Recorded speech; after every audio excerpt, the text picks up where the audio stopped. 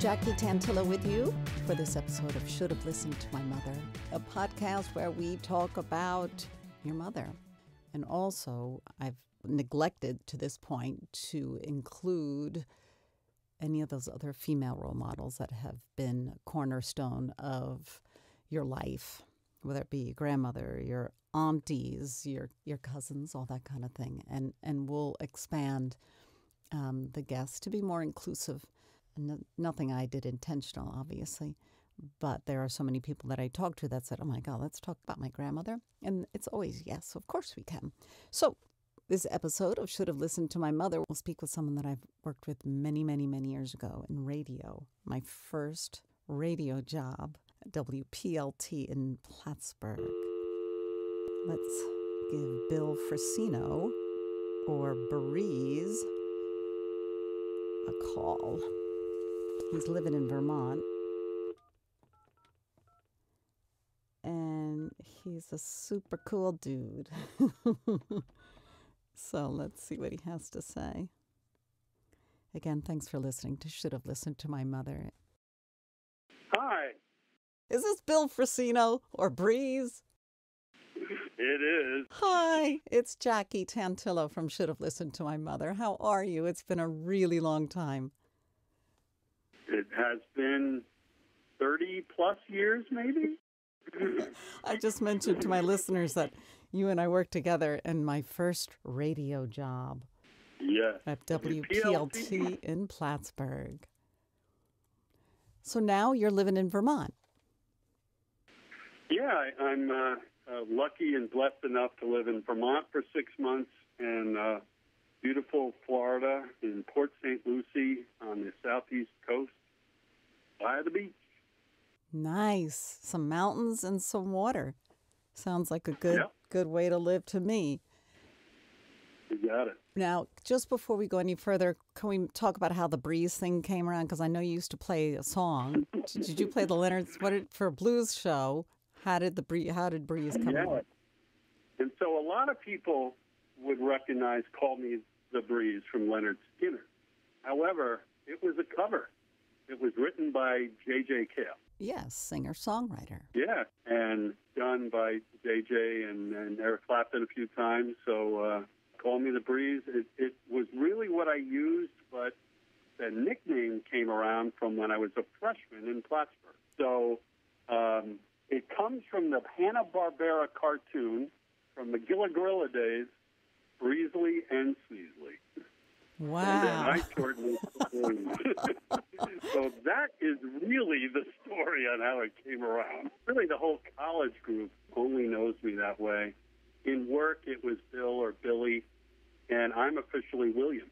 And the only person that called me William was my father, who called me Will. That's kind of cool, though, right? That's kind of nice for your dad to have his own Yeah. unique way. Mom, mom was. It's always like Billy. That was my grandmother. So I grew up with a grandmother and grandfather at home, and my parents. And my brother was 14 years older than me, so I kind of grew up like an only child. First, before we go any further, because that's an inter- interesting topic I want to talk to you about, your mom's name. Maryann Frascino, or she was Maryann Andriola and married Al Frascino. And a great story is that six kids in the Bronx, six men married six women on the same block. Till death did them all part. Isn't that crazy? Wow, that's pretty cool. That's really cool. And both your parents were Italian based on the last name, right?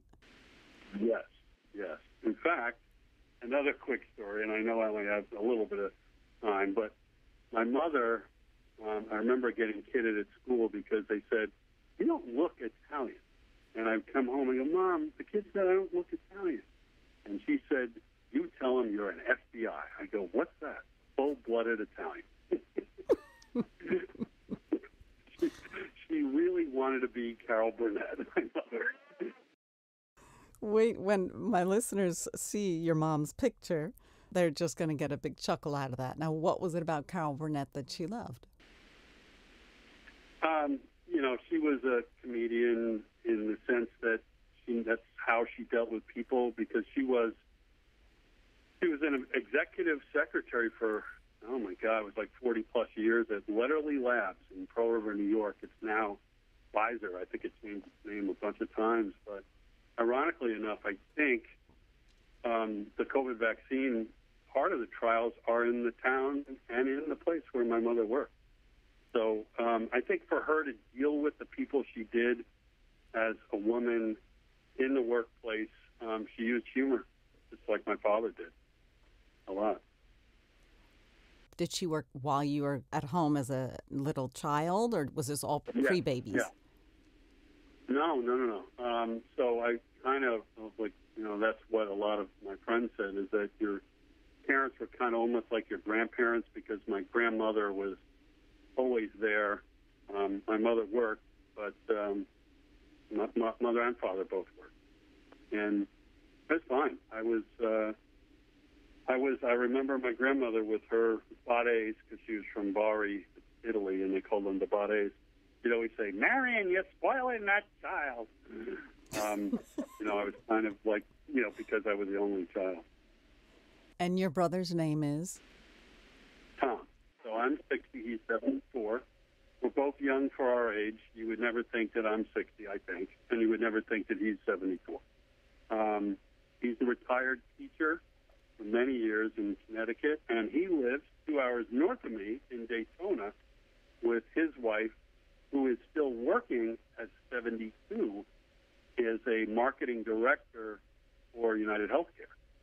Fantastic. So uh, she loves work, and she's working, you know, from apart. And Tommy hangs out and plays cards. Can I ask, have you guys ever compared notes on what your relationship or your perspectives of what your mom was like? Yeah, I think, yeah, you know, to give perspective too, because my friends would always say my brother wasn't my brother, he was my uncle because he was, you know, so many years older than me. And they're like, that's not your brother. But I said, no, he is. And I think over the last five years, we got closer about mom and him understanding my life because he lived in Connecticut most of his life with five children, and I lived in the Burlington, Vermont area. And quite frankly, we didn't. You know, we saw each other for holidays, um, but when my mother moved toward him instead of me, um, we thought that was better for many reasons. We sort of got closer, and there was some travel that we had together that we got to talk about things. Um, and over the last few years, uh, we got closer about things about mom. But uh, you know, I, I I look at pictures, and he's a kid in the 40s and early 50s, so very different. Yeah, that's a big difference. Do you have any idea why there was the 14 year gap? Just out of curiosity. I, uh, yes, it was another thing that I would kid my mother about. I'm like, you guys on some kind of drugs or what? um, but no, it was uh, really, I, you know, I don't know everything, but my mother did say when I was she got pregnant that she thought I was a tumor. I'm like, great. Um, so I, tumor, you, know, you said. Came out. Jackie, she was 38 in 1960 when she had me. Wow. So it was sort of, I was like the surprise baby. My father always wanted a girl. I was supposed to be Susan. Sorry, Dad. Um, and uh, yeah, no, I came out later, and uh, I, I asked. My father was um, my memories of him throughout all the years, and because he was such an athlete young, and I was a would-be athlete most of my life, um, he walked with a not a limp, but a, his neck on one side because he had spondylitis from a World War II accident. He fell off the uh, plane wing. He was a mechanic, and um, so he was never. Um, he couldn't move the right way. And so it was, you know, it was really interesting. And I said, did he possibly was on some kind of medications that maybe he couldn't? But uh, later in life, my brother did tell me some sort of shocking stuff that I don't know if I really want to go into, but there was maybe some wandering off from my dad that it never happened, but I didn't know about it, and my brother told me like two years ago. Oh. and so I don't think they're. I just don't think they were intimate. Mhm. You know. It, it's all different, but you know what? They stayed together, like you said, till death did them part. Yeah. That's pretty yeah. cool. No, my father. Unfortunately, my father died at a young age. Geez, um, you know, we're all like 60 now. He was 66, had just retired, and got pancreatic cancer, and and died within six months. And so my mother, you know, I was 26, so he never saw my children, um, or my subsequent marriages. I've had a few, um, but uh, you know, mom was always there and pretty much lucid, except for her last maybe two or three years, where um, not Alzheimer's, but more dementia Mhm. started to happen in her. But she made it to she was 95 years old. That's very impressive. So, what did she do when your dad passed away? Did she go back to work? She never stopped working. You know, that was Oh, my um, goodness. I mean, I can't think of when she retired, but she worked, and she always told me to hang out with young people, and you will be young forever. And so her friends would come over, and they were like in their 30s, and then I was like in high school and then in college, and I would like hang out with them. So it was like really cool, just like I hang out with my brother's kids that I'm closer in age to than I am to him. So I think that this whole like try to stay young thing comes from mom. Who said, I'll never forget her saying that.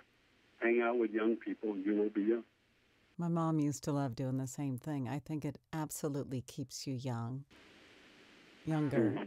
Mm-hmm. I, I love it. And you also wrote to me, and most importantly, to smell the roses and not to be serious all the time.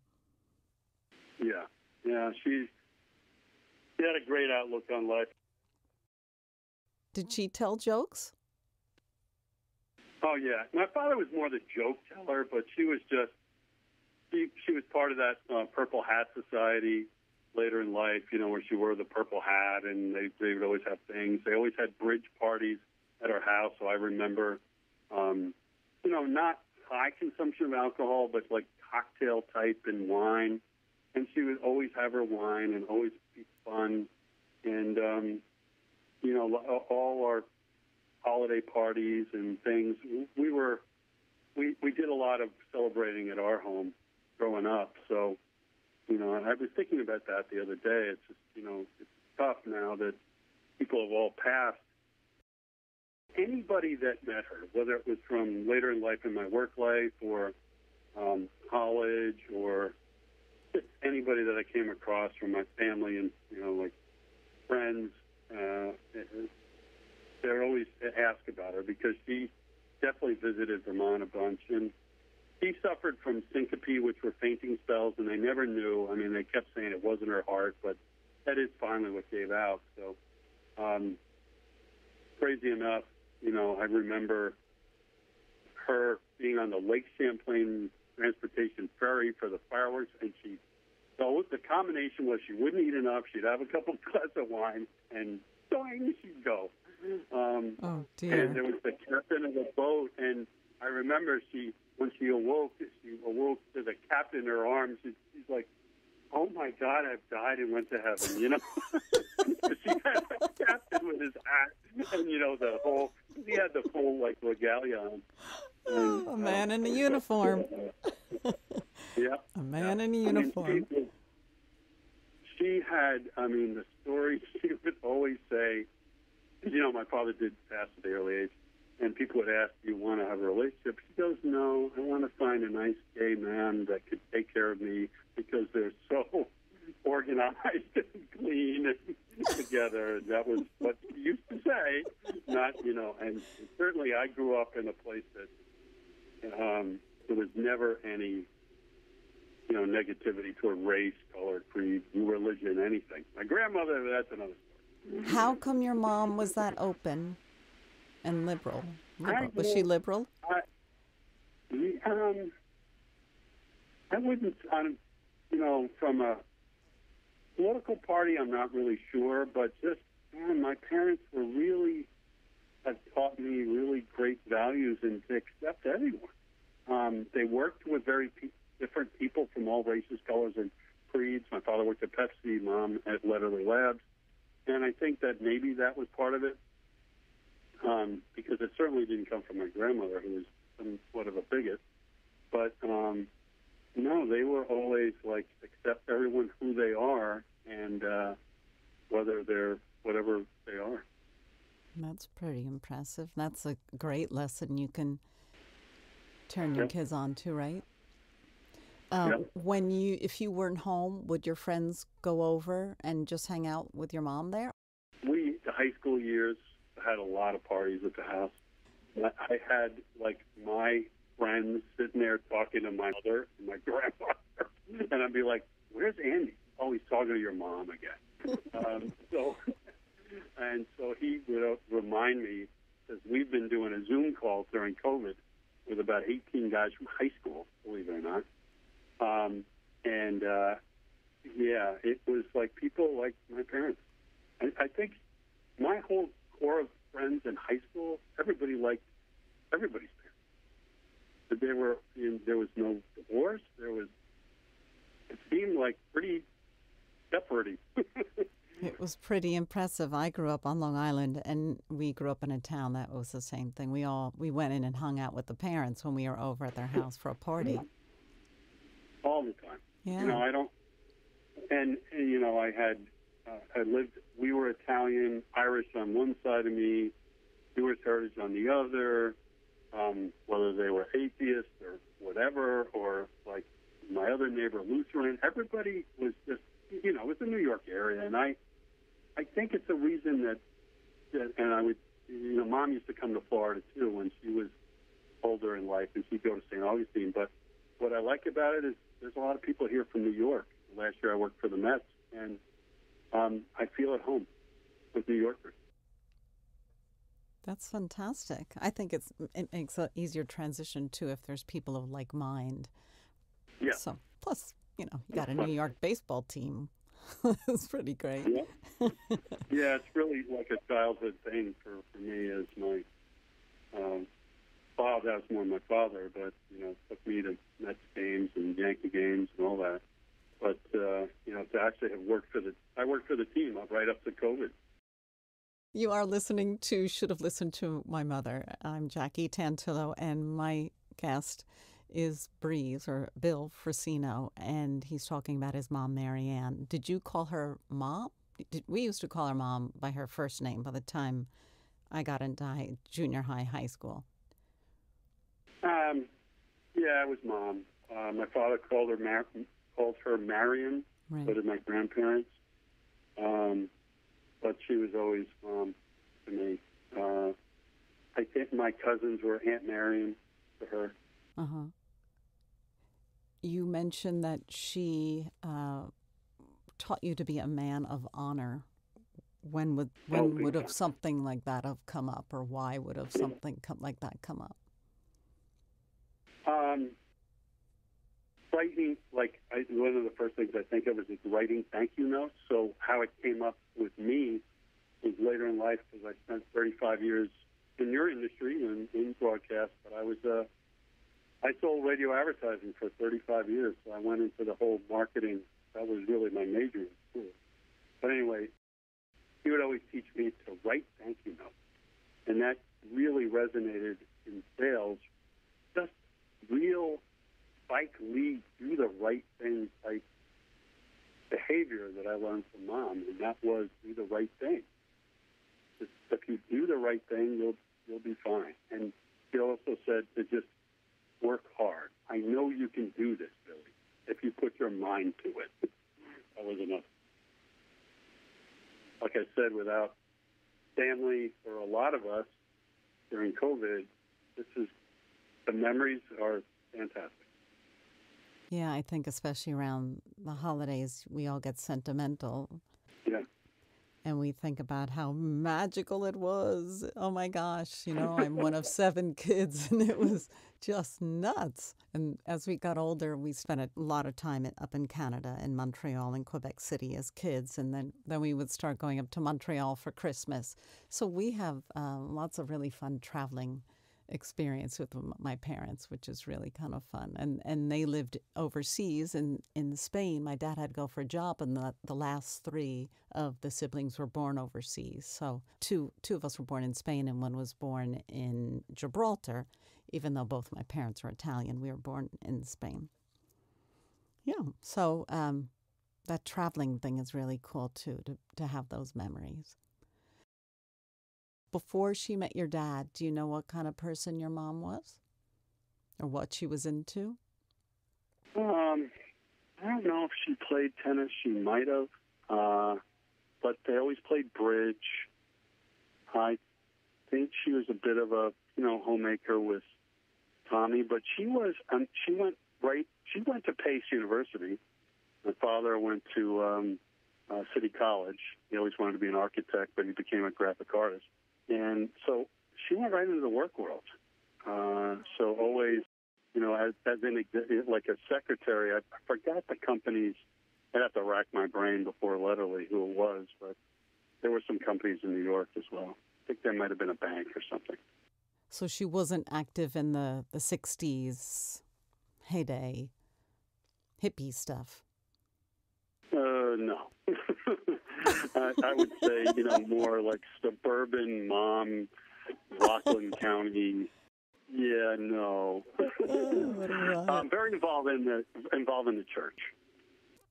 That's great. Well, thank you for sharing about Mary Ann. And I know I can just see all of your buddies that you grew up with hanging out and just hearing stories about her. She sounds like she's pretty special. Yes. I look forward to sharing the podcast with my family. My guest, Bill Frascino, or otherwise known as Breeze, radio and TV advertising genius. Thank you for joining me on Should Have Listened to My Mother. I'm Jackie Tantillo.